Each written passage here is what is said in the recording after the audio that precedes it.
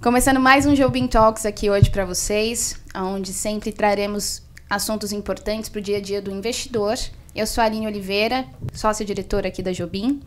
Estou aqui hoje com Rafael Bataglia, sócio-diretor também, e com o nosso André Riu, aqui nosso sócio também aqui na Jobim, também já nos ajudando aqui algumas vezes aqui no podcast. O assunto de hoje, como a gente falou no final do podcast anterior, será sobre sucessão familiar. É um assunto bastante importante para o nosso dia a dia, mas que brasileiro nenhum gosta de falar. Quando a gente fala de planejamento financeiro, que é um assunto que a gente aborda bastante com os nossos investidores, é um tópico bastante importante de ser citado, de ser falado e planejado. Não só a parte de investimentos, como a gente já falou nos outros anteriores, de produtos e afins, mas é importante a gente pensar também que não estaremos aqui para sempre. E aí, para começar aqui, gente, por que exatamente a gente tem que falar disso? Né? Eu já falei que é importante, a gente sabe aí das coisas, mas como é que vocês costumam falar isso para os investidores? Como é que a gente traz isso para o dia a dia do investidor? Aline, a gente tem que lembrar primeiro que a gente é vizinho de alguém, né? É, a gente sempre acha que as coisas acontecem é, com o vizinho e a gente esquece que é vizinho de alguém.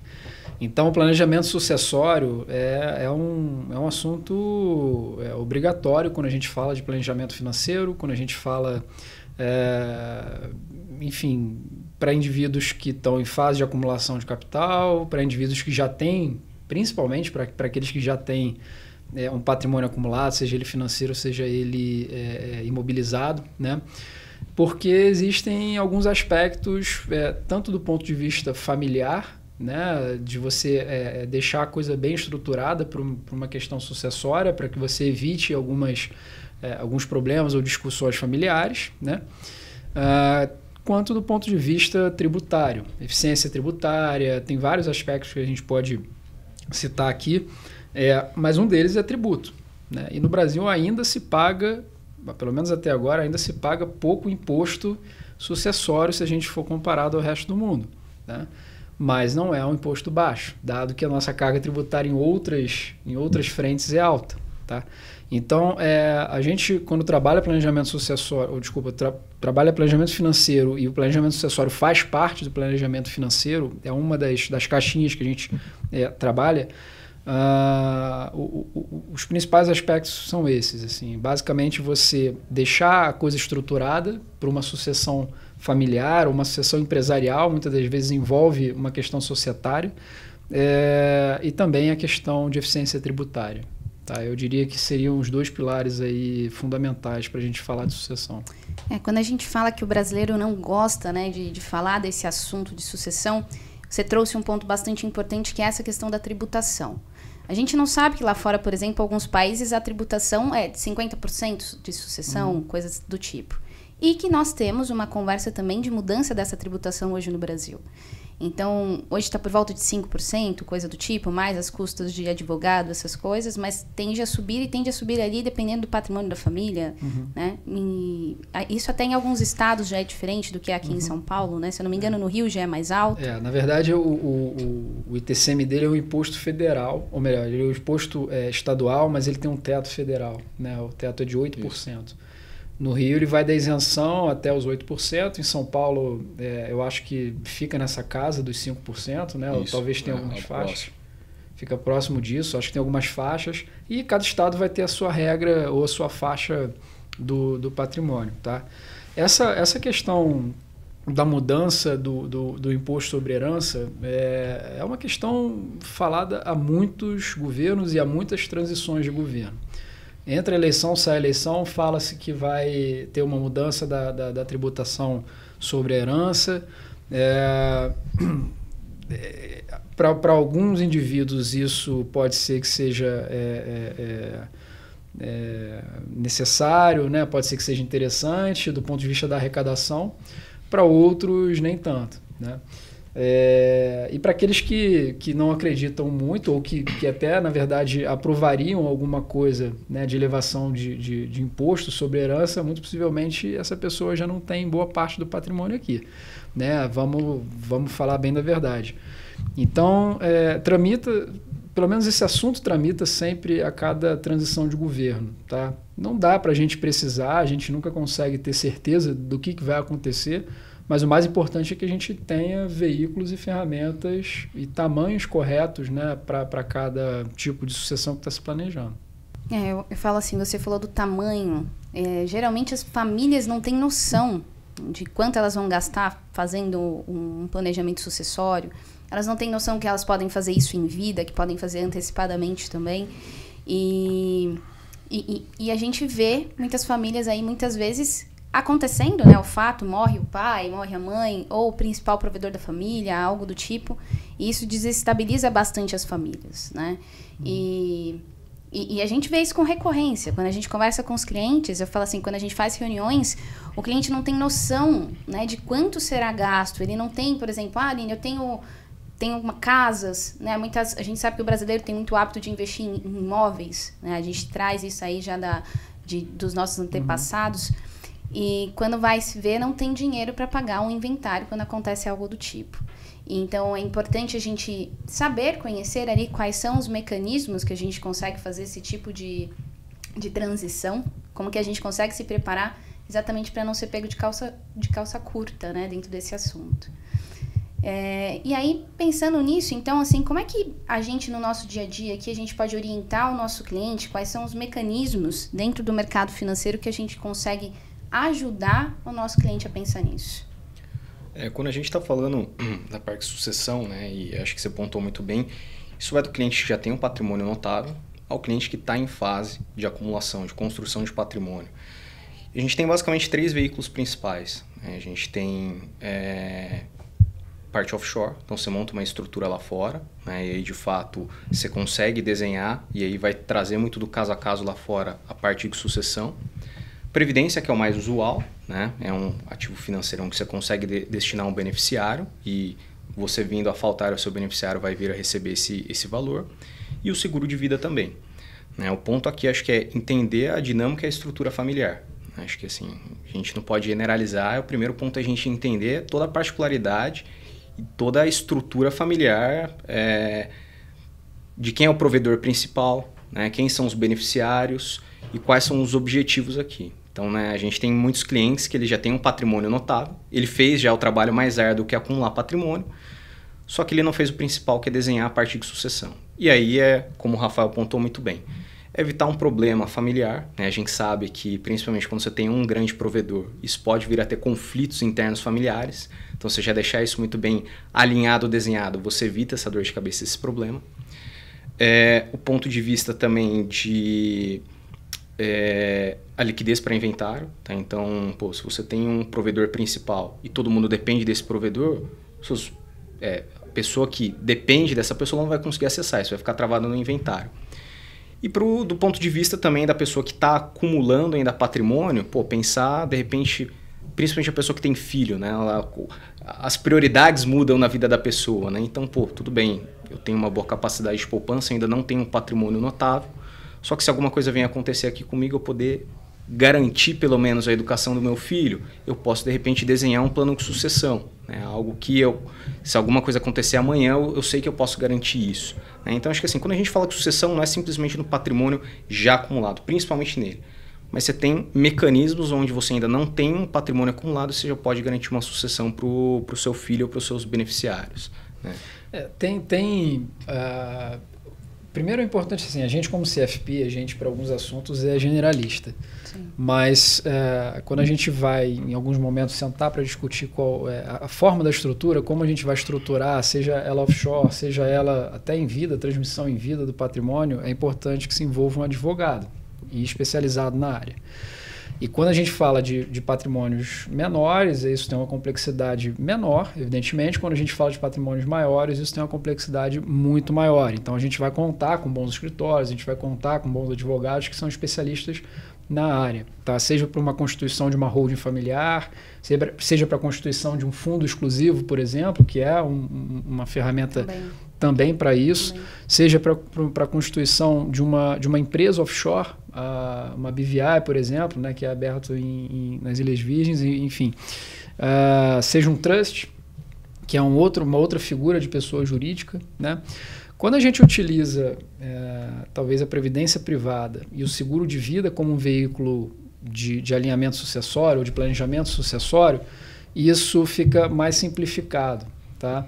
É, você pode utilizar essas duas ferramentas para fazer uh, o custeio de impostos ou a manutenção do padrão de vida de um, de um, de um herdeiro ou da família. Né? O, o seguro de vida ele não serve para deixar ninguém milionário. O seguro de vida serve para desembaraçar problemas financeiros que podem existir no falecimento de um provedor, seja uma matriarca ou do patriarca. Tá?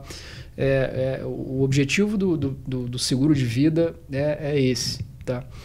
É, do ponto de vista da Previdência, é, às vezes é o que está, é, e aí falando mais do VGBL, é o que está ali mais próximo do indivíduo fazer, seja porque às vezes a idade não permite, seja porque às vezes o perfil de cliente não, não não, não, agrada tanto você fazer, ou o volume, você não tem muito como fazer determinados planejamentos sucessórios envolvendo offshore, envolvendo uma holding familiar e por aí vai. É, então, quando a gente envolve esses dois veículos, eu tendo a dizer que é, são veículos mais simples de uhum. você operacionalizar. Tá? Sim. Quando a gente já parte para a parte offshore, né, já vai para o offshore, a gente já tem algumas figuras jurídicas diferentes. A gente já tem a figura, como eu falei antes, da BVI, do Trust. É, e aí, dentro dessas, desses instrumentos jurídicos, você pode conter ali dentro imóveis, você pode conter a parte de investimentos é, no exterior. Né? Antes a gente falava da importância de se diversificar numa outra moeda mais forte que o real né, de você diversificar a jurisdição, risco político, investimentos como um todo. É, e sim, você pode acessar o mercado lá de fora ter esses investimentos lá fora, dolarizados, em moeda, é, é, ou mesmo em bonds, ou títulos de renda fixa, ou em ações lá fora, e também conter imóveis. Né? Para isso, a gente vai utilizar um, um, um, um, escritório de advocacia especializado em abertura dessa empresa lá fora. Né? É, eu acho que, independente do, do veículo que vai se utilizar, é importante que é, atenda à necessidade de cada indivíduo tá? para que a gente não tenha nenhuma surpresa, né? ou tente mitigar as surpresas que possam haver no meio do caminho. E às vezes você não vai ter só uma solução para um mesmo indivíduo, você pode trabalhar com uma variedade Perfeito. de soluções para aquele indivíduo ou para aquela família. Elas não são excludentes, elas são complementares. Exato, né? exato. Perfeito. Então é, é, é, assim, é importante é, sempre deixar isso muito claro. A gente falava aqui antes, né, o planejamento sucessório, assim como o investimento lá fora é para qualquer cliente, é para qualquer tamanho, o planejamento sucessório é importante para o indivíduo que está em fase de acumulação, porque no dado momento ele vai ter esse recurso lá na frente, é, e principalmente para o indivíduo que já tem o patrimônio acumulado. Né? Se ele quer deixar. Existem outras ferramentas que a gente pode ficar aqui citando, tem, é, você pode fazer várias outras, vários outros mecanismos de sucessão é, que envolvam sempre advogados. Né? O testamento é um deles, enfim, tem várias estratégias que a gente pode que a gente tem que entender com o indivíduo para poder adequar à necessidade dele. É, a atuação do advogado realmente é bastante importante. E até quando a gente começou a conversar, eu tinha até esquecido dessa questão do fundo exclusivo também. Uhum. Mas a gente sabe que o fundo exclusivo também, de certa forma, tem que ter um tamanho maior, né? tem que ter um patrimônio maior. Mas o, eu lembrei de um caso que, que eu que eu estou vivenciando, né? Um cliente que está montando um fundo exclusivo, mas com usufruto. Uhum. Nunca tinha visto. A Sim. gente nunca tinha visto isso. A gente sabe que o fundo exclusivo tem suas cláusulas, tem as suas travas, uhum. mas acabei de descobrir que existe isso e, claro, é importantíssimo a atuação de um advogado nisso, porque é ele que conseguiu colocar cláusulas ali onde defende o cliente em vida e, mas mesmo assim já fazendo essa transferência, né, passando esse, esse dinheiro para a filha dele e afim. E, e, eu falo assim, uma coisa, a gente está falando dos mecanismos, mas eu, eu acho que é importante a gente citar aqui que hoje, por volta aí do essas transferências, né? Então a gente tem o ITCMD, a gente tem a, o pagamento do, dos, dos advogados, uhum. é a gente dizer que está tá em média ali entre 13% e 15%, né? O, os custos com o inventário. E quando a gente fala, por exemplo, de famílias, a gente também não pode esquecer que, por exemplo, uma pessoa que é solteira, mas que tem bens, ela vai ter que deixar esses bens para alguém né? Porque senão, se, se não fizer esse inventário, essa coisa, como é que fica isso tudo, né? Como é que fica isso que a pessoa também adquiriu? A gente tem o hábito de falar assim, não quero deixar nada para ninguém, né? Quero que, que se dane, né? Vamos falar assim. Mas o... Mas é importante, né? É importante a gente lembrar que a gente não vai estar aqui para sempre, né? E mesmo sendo solteiros e afim, não tendo uhum. sucessões, a gente precisa realmente também se preparar para que a nossa família ou pessoas ali próximas a nós consiga também custear tudo isso, né? Uhum. E uma coisa que você trouxe, que eu acho que é bastante importante também, as pessoas geralmente esquecem dessa questão, por exemplo, ah, tenho um filho pequeno, como é que vai ficar a escola dele, né, se eu faltar?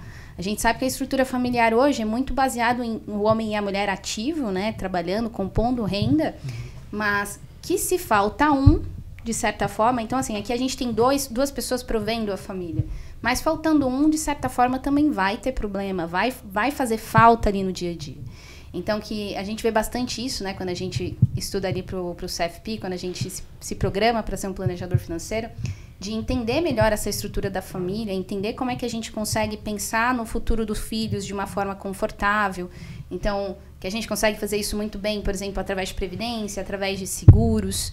E, e que é algo importante, né? De ser falado, de ser planejado. Porque como é que vai ficar meu filho se porventura não estiver aqui? Né? Então. É, acho que primeiro o profissional ele tem que entender a estrutura familiar, porque a gente citou aqui o filho, mas pode ser que o dependente financeiro não seja um filho, pode ser uma mãe, um pai, um parente próximo. Então você tem que preparar essa estrutura.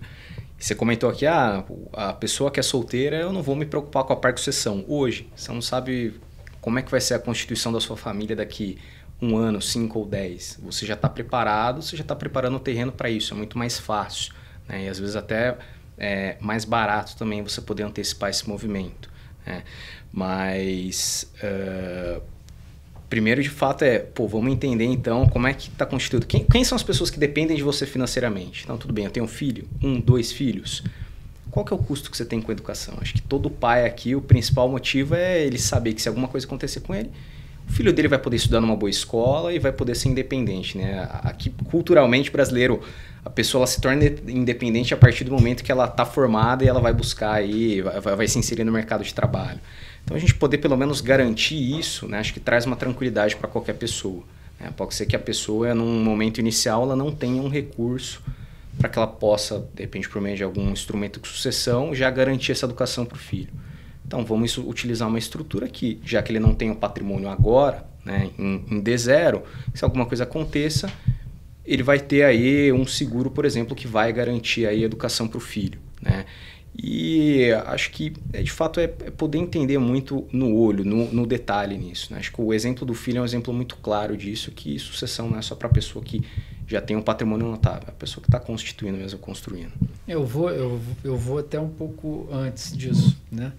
É, eu posso me dar como exemplo nesse aspecto é, e, e, trazer alguns exemplos também é, com, de clientes. Né? É, eu, quando fiz o meu seguro, eu estava com 32 anos de idade.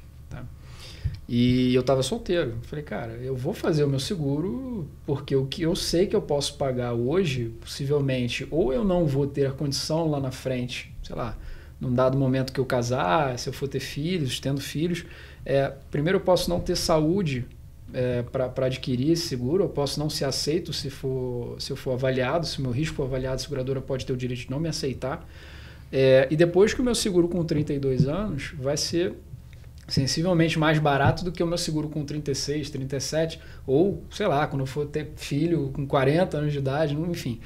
É, então, quando a gente antecipa alguns movimentos, desde que eles também sejam possíveis, é, eu estou me planejando, né? E, e, bem lembrando, assim, é, alguns prêmios, né? Aquilo que se paga anualmente ou mensalmente por um seguro, por uma pólice de seguro, você, em alguns casos, você não tem reenquadramento etário, você não tem reenquadramento por mudança ou por estado de saúde, tá? É, claro que aí vai depender de cada seguradora e, e de cada veículo que a gente está usando é, de seguros, tá?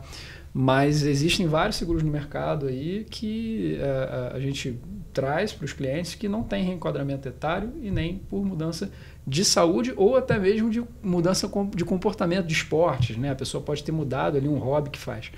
É, comprou aquele risco na entrada, ele está ele tá comprado. Tá? Então, é, um outro exemplo que eu trago é, é, é uma família que eu atendo. É, essa família já tinha passado por um processo de inventário há coisa de 20 anos atrás. Foi um processo custoso. Né? Elas é, herdaram uma empresa e, e, por algum tempo elas é, não elas ou elas enfim, refutavam a ideia, ou eu não sei se de repente eu não estava me fazendo entender da maneira adequada, elas é, demoraram um pouco para a gente ter a, a, a, o seguro das, das irmãs ou dos irmãos ali envolvidos, né, porque era uma empresa familiar, é uma empresa familiar. É, e no falecimento de qualquer uma delas ali, principalmente de uma delas em específico, poderia gerar um custo acessório relevante né, é, para aquela realidade. É, e aí, enfim, o tempo foi passando e é, a, a, matriarca da família faleceu. E a gente voltou no assunto. A gente falou assim: olha, é, a gente agora mais uma vez está passando por um processo desse, né? É, é, não é novidade para vocês do ponto de vista financeiro, né? O ponto de, o, a questão é, é, psicológica a gente nunca tem como como reparar, né? Evidente. Mas a questão financeira a gente pode buscar ferramentas para isso. Então vamos sentar e vamos reavaliar isso. E aí finalmente elas é, entenderam a importância disso, né? Para se ter uma ideia, assim, foi foi um apartamento que foi queimado é, com o processo de sucessão da matriarca é, e que a gente buscou mitigar é, e busca mitigar a partir de agora quando a gente faz esse veículo, essa ferramenta é, de seguro para os sócios, para as sócias envolvidas ali, né, para aquela família envolvida. É, é, até legal você comentar algo, né, que a sucessão é importante não só para não faltar com os beneficiários, mas é para trazer eficiência, né? Acho que o caso do seu cliente foi também a gente vê na prática o quão burocrático o processo Sim. pode demorar. Então, Sim. quanto melhor a gente desenha isso, a gente tende a desburocratizar ou tornar mais eficiente. É uma família que precisa acessar aquele recurso, precisa ter aquilo no exato momento. Então, você poder diminuir esse intervalo é algo que favorece muito o cliente também. Né? É, e falando de custo, de custo, realmente você pensando em fazer isso antes, se programando antecipadamente, sem dúvida nenhuma é algo que sai muito mais barato também, né? É, o, o você falou antes do, do fundo exclusivo com reserva de usufruto, né? Isso é extremamente comum no, no mercado. Claro, para você ter um fundo exclusivo hoje, é, isso vai depender de cada instituição, mas em geral a gente começa a falar de um patrimônio financeiro, tá? não imobilizado, mas financeiro a partir de 20, 30 milhões. Tá? Isso porque também vai depender da liquidez que o, o, o investidor precisa para custear as suas necessidades básicas ali, uh, ou compra de algum outro bem que ele pretenda e tudo mais. Então, é, a gente começa a falar nesse valor a partir de 20, 30 milhões tá? É, de reais em patrimônio líquido, dinheiro. Tá? E, e, quando você faz a reserva de usufruto, você nada mais está fazendo que a mesma coisa que o, um imóvel nesse aspecto. Né? Todo, o, o, todo o recurso, todos os rendimentos que aquele fundo exclusivo está gerando, e lembrando, fundo exclusivo é um, é um para quem não sabe, é um fundo de um único investidor, de um único cotista. Sim. Tá? É, em que você também ganha, tem uma eficiência tributária ali dentro, né, na compra e na venda dos ativos ali dentro, porque ah, você não tem a mesma carga tributária e você ganha essa eficiência tributária se comparada à pessoa física, tá? ou outra PJ, ou outra pessoa jurídica que acaba não tendo essas, esses benefícios fiscais.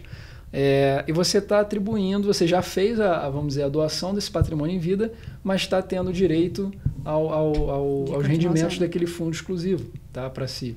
Então, é, é um veículo é, extremamente eficiente do ponto de vista sucessório e, da, e, e tributário.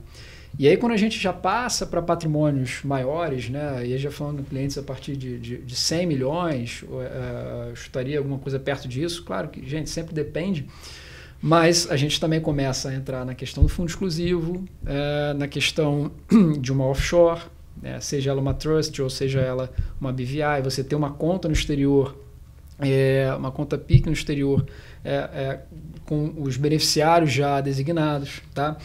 Não é interessante quando a gente fala, para se ter uma ideia, a partir de 40 mil dólares, você ter uma posição na pessoa física lá fora. Né? É, primeiro que vai ser extremamente é, é, trabalhoso você fazer recolhimento de DARFs ali, se você tiver um, um, uma, qualquer evento gerador de, de, de, de imposto lá no exterior, nos Estados Unidos. Tá? É, na pessoa física, isso vai ser uma dor de cabeça tremenda. Tá? É, quando você tem um, um, instrumento de pessoa jurídica, através de uma conta PIC, por exemplo, você consegue também ter essa eficiência tributária e também ter a eficiência sucessória. Né? Então, não é difícil da gente pegar casos que, quando o indivíduo tem um volume desse é, no exterior, ou patrimônio desse, a gente consiga diversificar dentro da jurisdição também. Né? Uma parte no Brasil através de um fundo exclusivo, uma outra parte com liquidez numa posição assim na pessoa física, e uma parte no exterior, numa estrutura de pessoa jurídica de forma legal. Tá? Ter recurso na pessoa física no exterior assim, é extremamente, é, é extremamente arriscado. Até porque o imposto sucessório, por exemplo, nos Estados Unidos, ele chega na média de 40% a 50%. Tá? Então, se a pessoa falece, metade do, do valor que está lá, na pessoa física, fica para o governo norte-americano. Tá? Então é importante ter atenção a isso é, também quando a gente fala de eficiência tributária sucessória no exterior. É, e, e você trabalhando de maneira eficiente a parte tributária, você também está não dilapidando, por assim dizer, o patrimônio que você vai passar para os seus herdeiros. Né? Então, se você paga menos imposto, você tem um montante maior para passar para os seus beneficiários, né? Então, você pontou muito bem, né? Na pessoa física, qualquer evento, então pagamento de um dividendo ou qualquer lucro, tem que recolher o DARF, é juros que você está deixando de receber.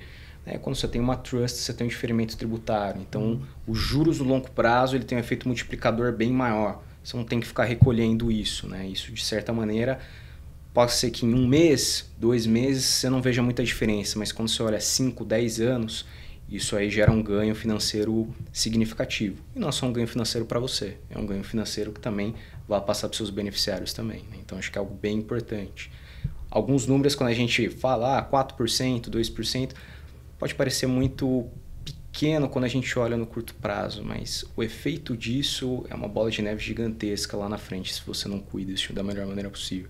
E envolve advogado, também uhum. acho que um bom contador, a parte tributária é muito boa para entender, acho que essas entrelinhas, né? Acho que tem vários artimanhas e instrumentos que a gente pode trabalhar para o nosso cliente da melhor maneira possível. Legal, legal. E, e, e, aí, assim, a gente já falou aqui de offshore, que offshore a gente tem aí alguns veículos, né? Então a gente tem a PIC, a gente tem a Trust. Tem mais algum, Batagra, que eu estou esquecendo? É, existe é, a nível de a nível offshore assim não acho que foge um pouco do, do pelo menos do que eu saiba assim não eu, eu entendo essas duas essas duas ferramentas lá fora como as mais eficientes tá uh, dentro da minha experiência. É, a gente pode pensar, até porque dentro da PIC você pode é, incluir, ou dentro da, dessas estruturas de trust e tudo, você pode incluir só investimentos, como também pode incluir imóveis junto, né? ou só imóveis. É, o, o, patrimônio do cliente pode ir para dentro dessas empresas, claro que vai depender da, de como elas são formadas, mas pode ir para dentro dessas empresas também. Não é só é, é, recurso financeiro, tá? é também imobilizado. É, o que é comum aqui também é a gente ter holdings, né? quando uhum. o, o, indivíduo tem muitos imóveis, principalmente. É importante a gente pensar na possibilidade de uma constituição de uma holding imobiliária. Né? É, justamente por uma eficiência tributária, se, principalmente se essa pessoa recebe muitos aluguéis dos imóveis que estão envolvidos ali, então sejam seja galpões, sejam imóveis residenciais ou mesmo comerciais, quando ele tem um determinado volume de receita é, é, é, que vem de aluguel desses imóveis e passa a ser um volume significativo, também passa a ser um bom instrumento sucessório, porque você consegue colocar é, as pessoas ali dentro da holding, e aí nesse caso o que você está fazendo é, é aumentando a eficiência da sucessão tá? Porque mesmo que esteja dentro da holding, é, se uh, acontece alguma coisa com aquele indivíduo e os, e os beneficiários não estão dentro da holding, é, certamente vai haver é, um, um, fato gerador de tributo. E aí vai incorrer em, em impostos em cima da holding. Tá? Então, nesses casos, às vezes não vai eliminar a necessidade de um seguro para custear impostos. Tá?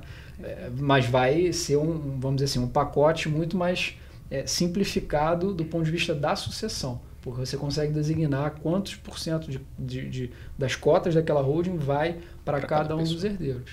Perfeito. Legal. Bom, e aí a gente tem o seguro de vida também, que a gente já está falando aqui já um pouco. Então, a gente fala aí do seguro de vida para cobrir o inventário, para cobrir custos de escola dos filhos. É, algum outro ponto que é o seguro também se enquadra aqui na sucessão?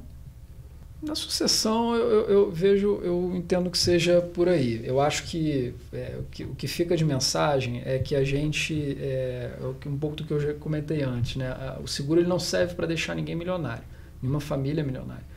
Ela serve para custear é, demandas é, a curto prazo que vai se ter, seja ela com imposto, seja ela com, com é, pagamentos de honorários advocatícios, seja é, até mesmo de, de, alguma, de alguma demanda financeira que exista a curto prazo, uma manutenção de padrão de vida.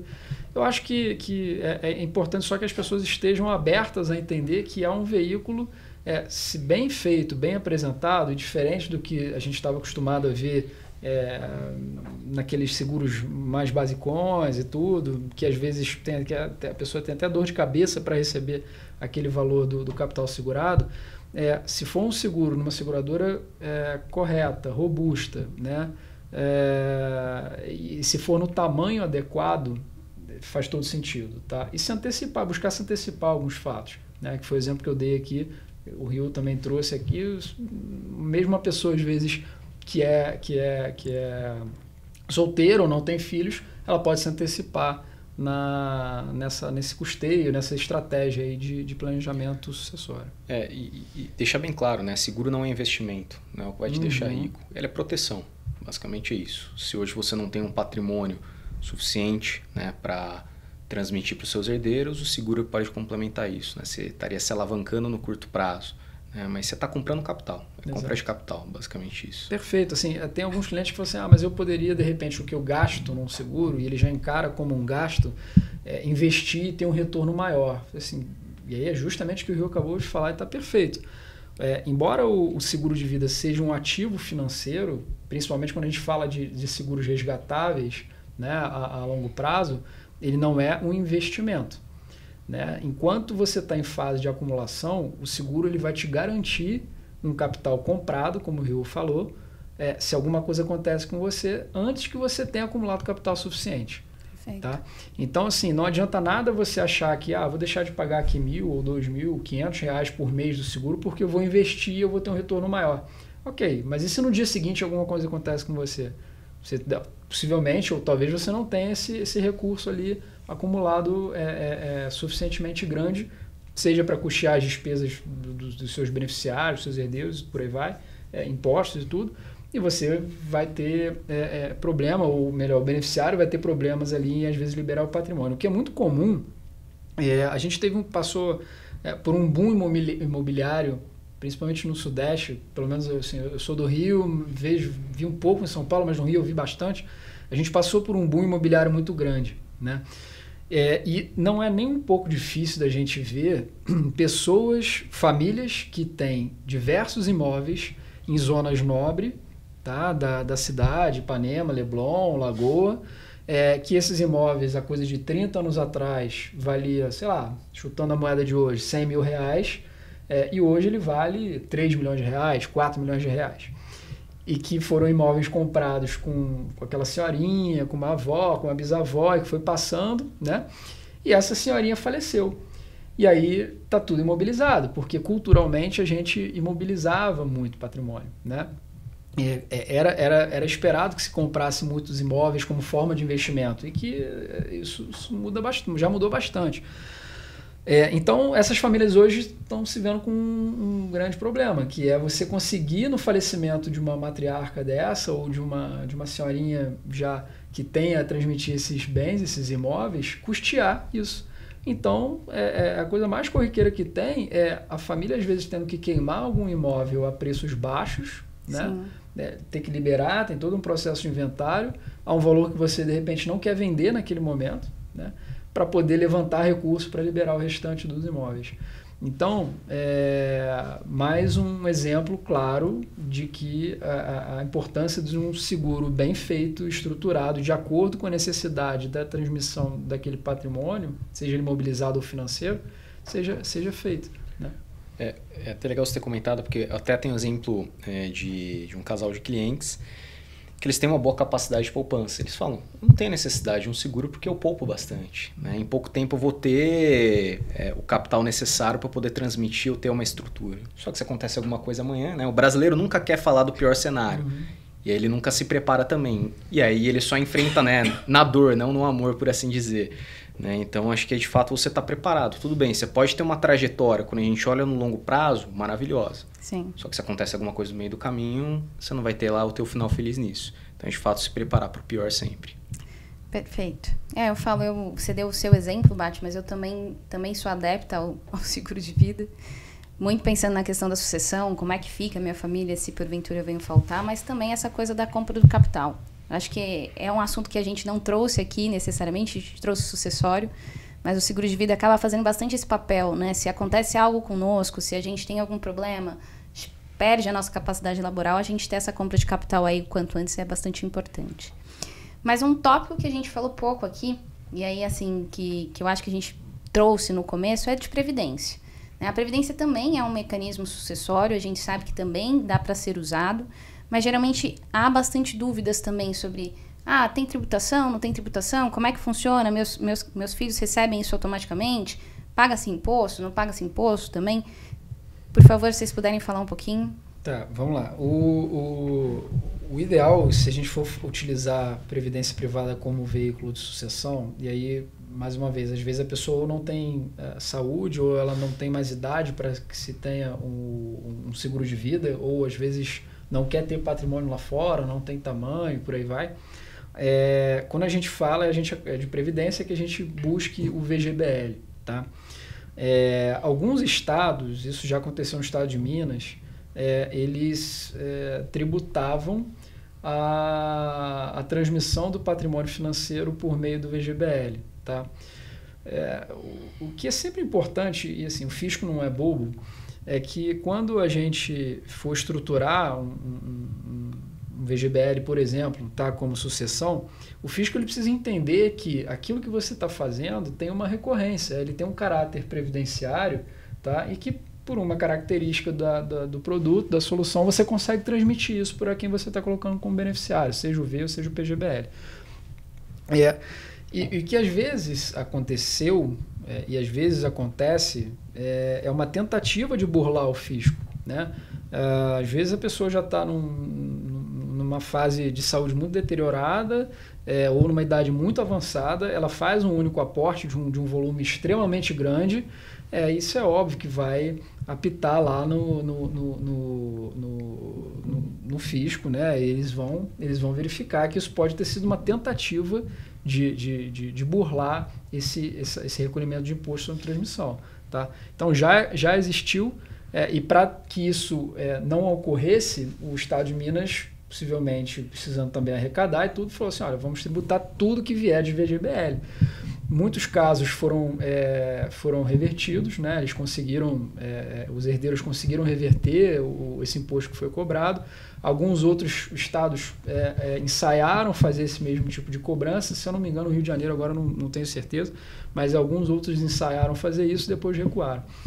É, como o, o, assim, a complexidade tributária no Brasil é muito grande, para pessoa jurídica então nem se fala, é, a gente trabalha, sei lá, quantos meses do ano para pagar imposto, ou só, com, só para entender a eficiência tributária, ou a ineficiência tributária, né?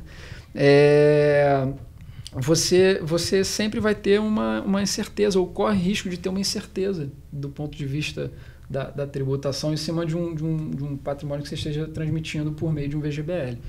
É, mas, a grosso modo, se você for olhar lá, existem várias jurisprudências que, que já revertem essa cobrança de TCMD.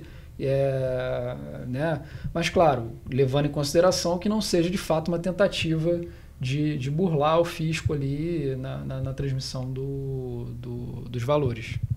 É, mas eu acredito que é importante a gente colocar que, de certa forma, por mais, digamos que tenha a cobrança do ITCMD, uhum. mas é um veículo mais fácil também, né, de fazer essa Sim. transmissão. É, que a gente vê geralmente nos inventários, os imóveis, tem que se pagar lá o advogado e ITCMD, uhum.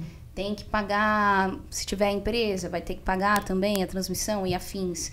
E a Previdência, de certa forma, também é um veículo que o Ágil. cliente recebe rápido aquilo, uhum, né? Acaba uhum. ajudando, é, talvez na educação dos filhos, coisas uhum. do tipo também, a, a, mobilizar isso um pouco mais rápido do que, do que, por exemplo, fazer um inventário propriamente dito, né? Sem dúvida. É, acaba sendo, é o que você falou agora, acaba sendo um veículo rápido, de acesso rápido, né? Uh, para o beneficiário, né? menos complexo. Né? E, e outra, o, o investidor o, que, que tem um VGBL, ele consegue fazer portabilidade, que a gente chama, né? seja para outra instituição, seja para um outro fundo que esteja, um fundo de previdência privada, que esteja é, rendendo melhor ou que esteja mais adequado ao, ao, momento de mercado. Ele pode fazer essas contribuições, como a gente sabe, ao longo do caminho para ir reforçando. O ponto do, do, da previdência privada, quando você utiliza para meio sucessório, é só que assim você tem que entender que está tendo uma dilapidação do patrimônio. Né? Parte do patrimônio que você está transmitindo vai ser para custear é, impostos, vai ser para custear é, honorário advocatício, vai ser para custear é, despesas com educação, com saúde. Beleza. Se você tiver de acordo com isso e for a única ferramenta que esteja ao alcance ao da alcance, pessoa também, por todos os aspectos que a gente falou, né, que às vezes o seguro pode não ser, é, não, pode não caber, ou outras ferramentas, é, tudo bem, vai ser o que está ao alcance da gente ali poder é, utilizar como veículo sucessório de manutenção de padrão de vida, ao menos por um tempo. É, como a gente costuma falar, cada caso é um caso, né? precisa ser estudado realmente mais a fundo o que, que é necessário, se é necessário um mecanismo, se é necessário dois, três. A gente já falou que offshore, além da sucessão, é importante para a diversificação da carteira, então traz essa facilidade, né? Eu sei que meus beneficiários vão receber, eu sei que eu consigo me proteger também no capital. É, o seguro de vida, a gente está comprando um capital, acho que é importantíssimo isso. A gente consegue montar estruturas onde a gente vai proteger não só a nossa família, ou até terceiros, né? A gente uhum. não necessariamente precisa deixar um seguro de vida para nossa família, pode deixar para outras pessoas também. E a previdência, também aí usando, né, para esse caso, pro ITCMD, vamos falar especificamente disso, né, de um imposto, ou, ou talvez uma facilidade de pagar alguma coisa mais rápido, mas cada um é complementar também, se a gente parar para pensar, e cada um, né, cada caso ali vai, vai caber um instrumento diferente. Eu acho que aqui dentro de sucessão, eu não sei se vocês têm algo a mais que vocês querem colocar, mas eu acredito que a gente já falou bastante aqui hoje. É. Bom, então assim, o que, acho que o que a gente pode deixar recomendado aqui é procure um especialista no assunto, procure sempre conversar ou com seu assessor financeiro, com seu planejador financeiro, ou mesmo seu advogado. É um assunto importantíssimo de ser falado. De novo, o brasileiro não gosta de falar disso, mas a gente precisa se programar. Quanto antes a gente se programa, mais fácil fica e menos custoso também. Então ficamos por aqui nesse Jobim Talks e até a próxima.